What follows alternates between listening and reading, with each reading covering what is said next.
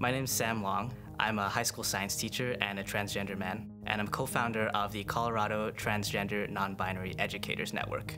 Most people haven't thought about trans educators, but we do exist and we are in schools teaching children every day.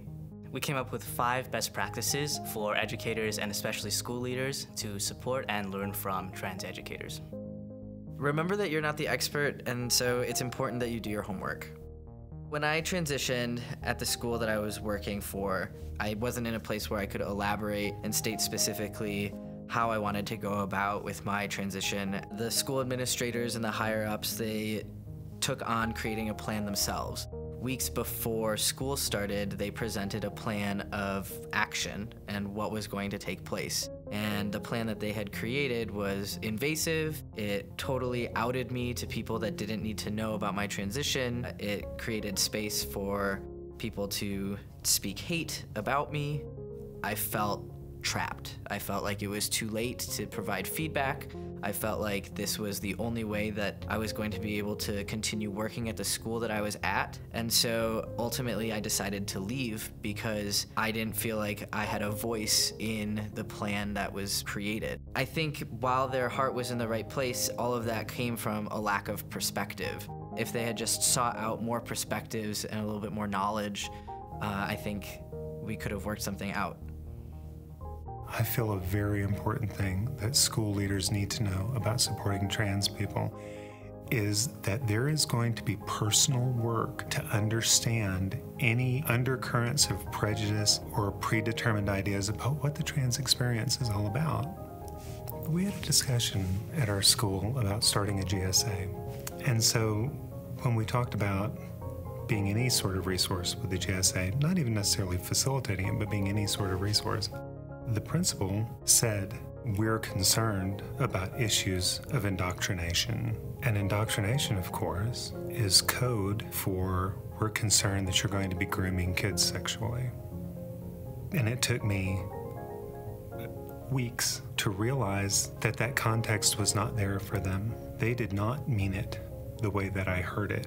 It didn't change the way that I felt targeted. It didn't change the fact that I didn't want to work at the school anymore. If you're going to work with folks in the trans experience, you need to understand the things that are going to fracture those relationships. Be proactive about implementing systems that include everyone. For example, sharing your pronouns in your network opening or in your school opening. Offer pronouns as an opportunity for people to talk about and share a component of their identity. Also, be cognizant of not making that mandatory giving people an opportunity to opt into a community or opt into expressing a piece of their identity is really valuable and empowering. But if you don't model and actually implement that process, then it's not going to be effective either. Share the work of creating an inclusive school climate. It's more than just changing a single bathroom in your school to gender neutral right? It's actually going out and engaging with all individuals, parents, other teachers, students who are resistant and actually talking with them and showing us through your actions and not just having a conversation with that person in your office behind closed doors.